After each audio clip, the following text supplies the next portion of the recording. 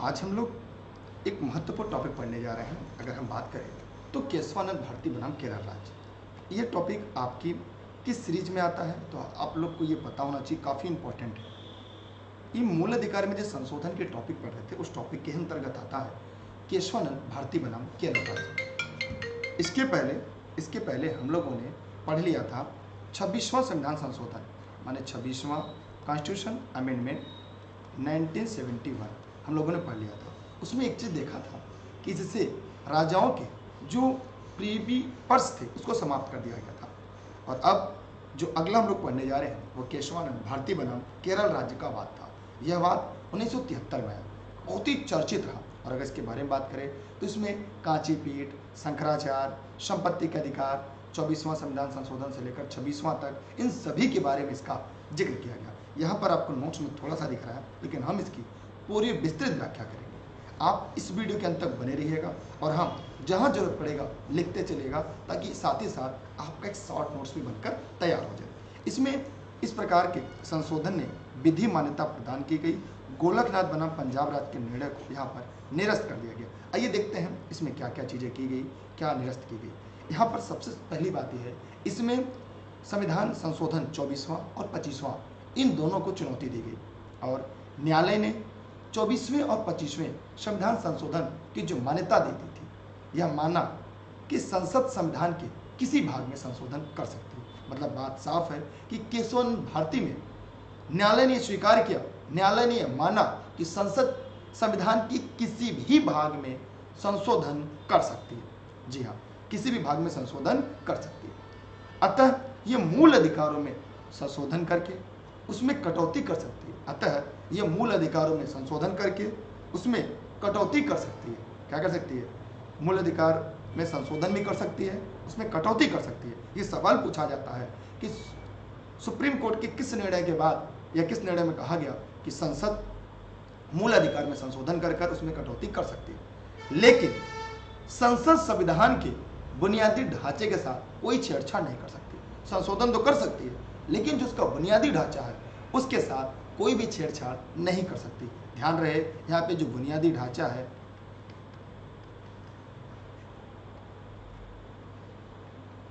ढांचा, इससे किसी प्रकार का कोई भी छेड़छाड़ नहीं किया जा सकता। यह बात यहाँ पर कहा गया, जो काफ़ी इंपॉर्टेंट था। ठीक, अब यहाँ पर एक सवाल आता है, आप सभी के मन में आता है, कि जब इसमें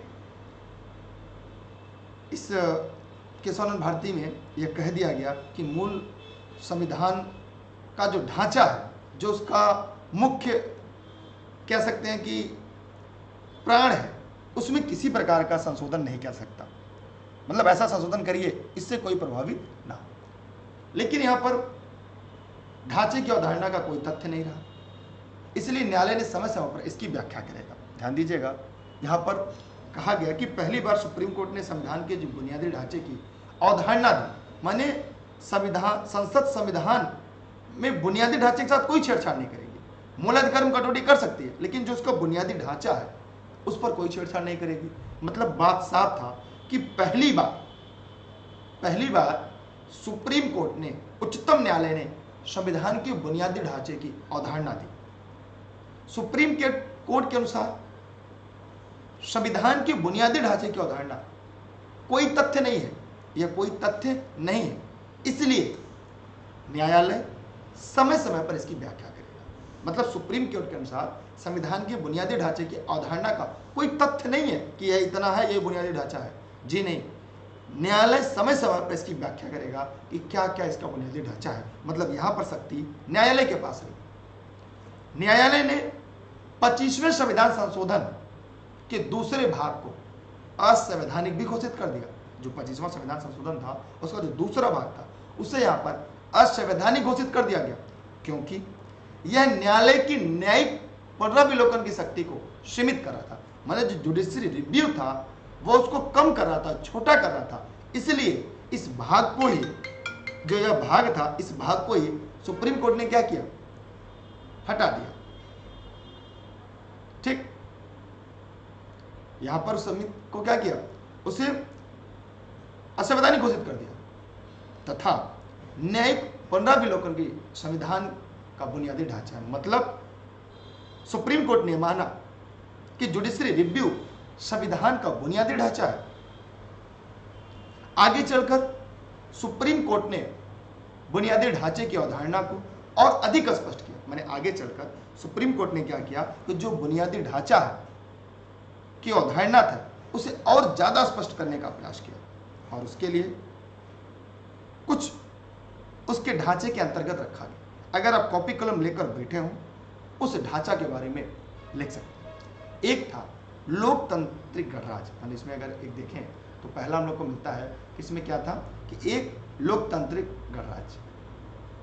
क्या मिल जाएगा? आपको यहाँ पे एक लोकतांत्रिक गणराज्य मिल जाएगा। माने लोकतांत्रिक जो गणराज्य है ये संविधान का मूल ढांचा माना गया। अब आपके मन में आएगा कि यह तो हमें, हमारी उद्देशिका में, हमारे प्रस्तावना में देखने को मिल गया। तो यहाँ भी मिल गया तो कौन सी बड़ी बात है? ना, आपके मन में तो आया होगा ये।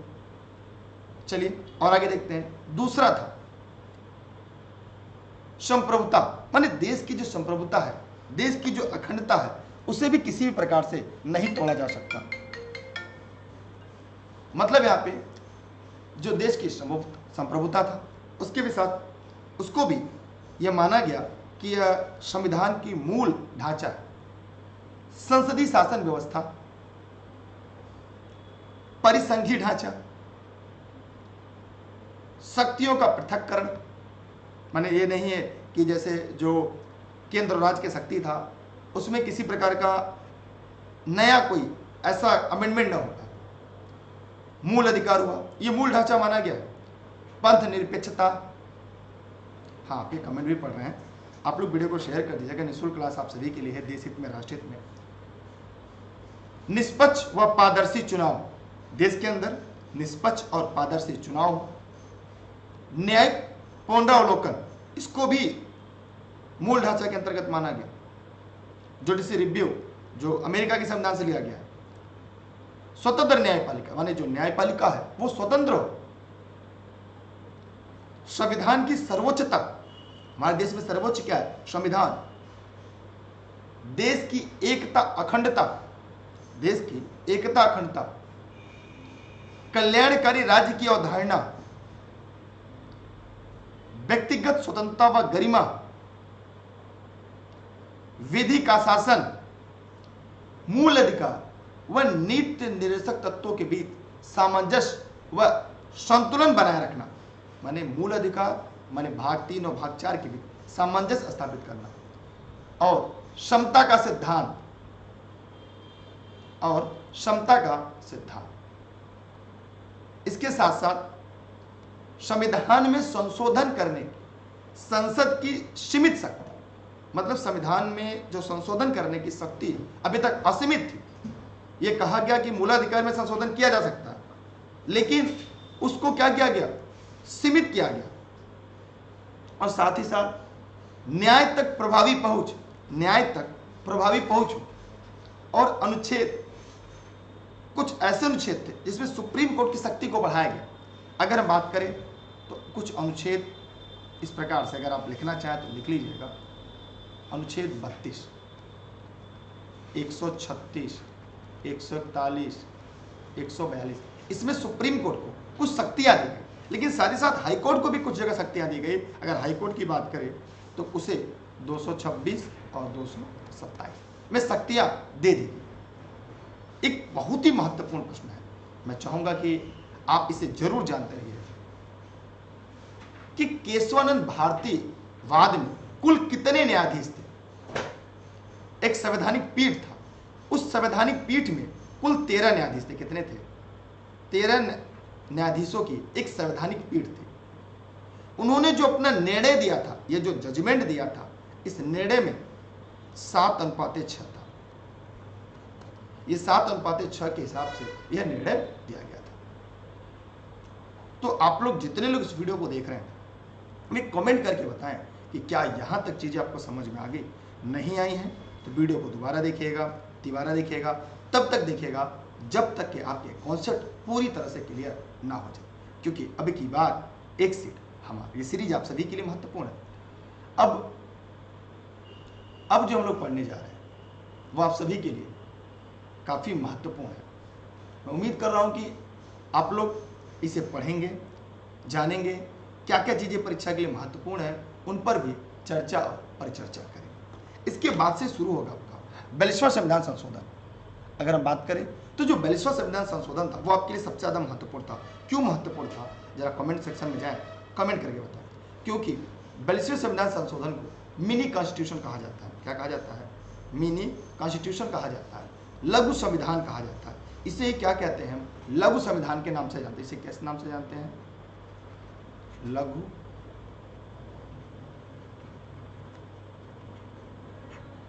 इसे हम लघु संविधान के नाम से जानते हैं। मिनी कॉन्स्टिट्यूशन के नाम से जानते हैं। इतना ज़्यादा इसमें संशोधन हुआ था। इसमें अगर हम केवल बात करें मूलाधिकार से जोड़कर तो अनुच्छेद तीन में खंड चार और पाँच जोड़े गए। इसमें दो खंड जोड़े गए, खंड चार चार और पाँच। इस प्रकार किए गए संशोधन को किसी भी न्यायालय में, किसी भी न्यायालय में प्रश्नगत नहीं किया जा सकता।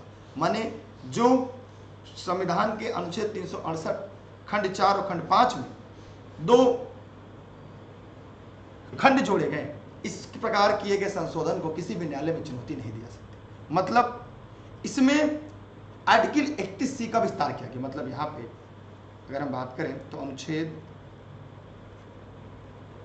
इकतीस सी का यहाँ पे बढ़ाया गया, विस्तार किया गया। माने यदि संसद सभी नीति निषेध तत्वों के उद्देश्य को प्राप्त करने के लिए अगर कोई अधिनियम पारित करती है तो इस अधिनियम में अनुच्छेद अगर चौदह, उन्नीस, इकतीस मूल अधिकारों का हनन होता है। इस आधार पर यह अधिनियम भी वैधानिक होगा। तो यहाँ पर हमने देखा कि मूल अधिकार से जोड़कर चीज़ों को हम लोगों ने यहाँ पर देख लिया। अब अगर जरा बताएँ, किसी के मन में कोई प्रश्न हो, कोई समस्या हो, कोई सवाल हो तो ज़रूर पूछ सकता है। अब एक छोटा सा टॉपिक आता है, मिनरवा मिल्स बना भारत से। मिनरवा मिल्स बना भारत से। आइए, इसको भी हम लोग देख लेते हैं। आप लोग वीडियो को शेयर कर दीजिएगा, जितने भी साथी वीडियो को देख रहे हैं। इसमें निर्णय के द्वारा यह निर्धारित किया गया कि संविधान के आधारभूत लक्षणों की रक्षा करने का अधिकार न्यायालय को। माने जो संविधान की आधारभूत ढांचा है, उसकी रक्षा करने की जो ज़िम्मेदारी है, वो न्यायालय की है। और न्यायालय इस आधार पर किसी भी संशोधन का पुनरावलोकन कर सकता है। किसी भी बलिष्ठ संविधान संशोधन द्वारा दी गई व्यवस्था को समाप्त कर दिया गया। जो बलिष्ठ संविधान संशोधन द्वारा व्यवस्था की गई थी, उस व्यवस्था को यहाँ पर समाप्त किया गया। मतलब खंड चार व पाँच, जो तीन सौ अड़सठ में जोड़े गए थे। यहाँ पे बयालीसवें संविधान संशोधन को चुनौती दे दी गई। और इकतीस सी जो था, उसे भी क्या किया गया? अब असंवैधानिक घोषित कर दिया मैंने इकतीस सी को भी क्या किया गया? अब असंवैधानिक यहाँ पर घोषित कर दिया गया। तो आप लोग बताएँ कि कितने ऐसे लोग थे जिनको यह पूरा समझ में आ गया? सभी लोग फटाफट कमेंट सेक्शन में जाएँ और कमेंट करके बताएँ। सभी लोग फटाफट कमेंट करें और कमेंट करके बताएँ। यहाँ पर हम लोगों ने जो मूल अधिकार था, उस मूल अधिकार से जुड़े हुए तथ्य को पढ़ लिया। मूल अधिकार से जुड़े जो प्रमुख वाद थे, उन वादों को भी पढ़ लिया। अब इससे ये चीज़ें स्पष्ट हो गई और क्लियर हो गई। अब आप लोग को क्या क्या चीज़ें पढ़नी है क्या क्या चीज़ें नहीं पढ़नी। सब लोग फटाफट कमेंट बॉक्स में जाएँ और कमेंट करके बताएँ कि क्या सबको समझ में आ गया। आपके कमेंट भी तो दिख रहे हैं। हाँ ठीक है। हाँ शेयर कर दीजिएगा। इसके बाद हम लोग क्या पढ़ेंगे? चलिए इसके बाद परेशान नहीं होना। इसके बाद हम लोग क्या करेंगे? एक छोटा सा वीडियो लेक्चर लाएँगे, उसमें ये देखेंगे कि कौन कौन मूलाधिकार और नीति निर्देशक तत्व में क्या अंतर है। क्योंकि इसके बाद की जो टॉपिक है, वो नीति निर्देशक सिद्धांत है। इस थ्योरी को पूरा पढ़ लेंगे, फिर उसके बाद तब दोनों के अंतर पढ़ेंगे, ताकि हमें और अच्छे से समझ में आ जाए। इसके अलावा कुछ महत्वपूर्ण की पॉइंट है, जैसे मैं यहाँ पे शॉर्ट में आपको दिखा दे रहा हूँ। वैसे जो इसकी प्रमुख अनुच्छेद उसकी आपको वीडियो मिल जाएगी। नागरिकों और विदेशियों को प्राप्त कुछ मूलाधिकार इस पर हम लोगों ने चर्चा कर लिया था। जैसे अनुच्छेद पंद्रह, केवल भारतीयों को है। यह केवल नागरिकों को मूलाधिकार है, भारतीय नागरिकों लेकिन चौदह, विदेशियों को। माने विधि की समझ, क्षमता, विधियों का समान संरक्षण। ये भारतीय विदेशी सभी के लिए। और केवल धर्म, मूलवंश, जाति, लिंग या जन्म स्थान के आधार पर विभेद का प्रषेध यह केवल भारतीयों के लिए अनुच्छेद पंद्रह है। ये इंपॉर्टेंट है, शायद आप लोग को पता होगा। आगे हम लोग देखते हैं, कुछ और अनुच्छेद है। ऐसे इस अनुच्छेद के बारे में हम लोगों ने पढ़ लिया है, लेकिन फिर भी आप चर्चा आपसे कर ले रहे हैं। अनुच्छेद 16 केवल भारतीयों के लिए है बीस अपराधों के लिए दोषित के संबंध में संरक्षण, ये दोनों के लिए है। अनुच्छेद उन्नीस केवल भारतीयों के लिए है। विचार, अभिव्यक्ति, शांतिपूर्ण सम्मेलन निर्बाध रूप से विचरण करना और अनुच्छेद इक्कीस, प्राण दही स्वतंत्रता का अधिकार, संरक्षण। ये भारतीयों को भी है, विदेशियों को भी है। अनुच्छेद उनतीस, अल्पसंख्यकों शिक्षा और संस्कृति संबंधित अधिकार। यह केवल भारतीयों को है। अनुच्छेद 22 कुछ मामलों में हिरासत और नजरबंदी का संरक्षण, ये दोनों के लिए है। अनुच्छेद 23 24 25 26 28 ये भारतीयों के लिए है, विदेशियों के लिए, ये दोनों के लिए है। तो चाहे आप इसके स्क्रीनशॉट रख लें, चाहे आप इसे अपने पास सुरक्षित नोट्स को रख लें। इसके बाद एक आता है, अनुच्छेद इकतीस क्या है? वैसे मैंने इसके बारे में चर्चा कर लिया था कि अनुच्छेद इकतीस क्या है। तो आइए एक बार फिर से हम लोग ये देख लेते हैं कि अनुच्छेद इकतीस क्या है। इसी के साथ आज की सीरीज़ समाप्त होगी। हम लोग पढ़ेंगे राज्य के नीति निर्देशक सिद्धांत। अनुच्छेद इकतीस क्या है? भारतीय संविधान का अनुच्छेद इकतीस। संपत्ति का मूल अधिकार प्रदान करता है। परंतु चौलीसवें संविधान संशोधन अधिनियम उन्नीस से इकतीस को निश्चित कर दिया गया, इसे निकाल दिया गया। अनुच्छेद इकतीस को मौलिक अधिकार की श्रेणी से हटाकर अब इसे भारतीय संविधान के अनुच्छेद तीन सौ भाग बारह में रखा गया, जहाँ पर संपत्ति का अधिकार है और यह एक प्रकार का वैधानिक अधिकार हो गया। इस प्रकार आज मूलाधिकार की सीरीज़ यहाँ पे समाप्त होती है। और टेलीग्राम पर आप सभी लोग दुर्गेश सर सर्च करिएगा, बिना स्पेस के ई लर्निंग विद दुर्गेश आएगा। उससे आप लोग ज्वाइन कर लीजिएगा। जैसे ही वहाँ पे ज्वाइन करेंगे, सभी क्लास नोट्स आपको फ्री में मिल जाएगी। साथ ही साथ आप ऑनलाइन क्लास नोट्स संबंध अगर कोई जानकारी चाहिए ई लर्निंग विद दुर्गेश की ऑफ़िस का नंबर है। यहाँ पर आप व्हाट्सएप करके कॉल करके जानकारी ले सकते हैं। ये सभी क्लास जनपद जौनपुर से संचालित की जा रही थी। इसके बाद हम लोग जो अगली टॉपिक पढ़ेंगे, वो राज्य की नीति निदेशक तत्व पढ़ेंगे, जो काफ़ी महत्वपूर्ण है। ये भाग चार में हम छत्तीस से लेकर इक्यावन तक है। ठीक है? और उसके बाद हाँ जी डीपी एसपी के नाम से उसे जानते हैं।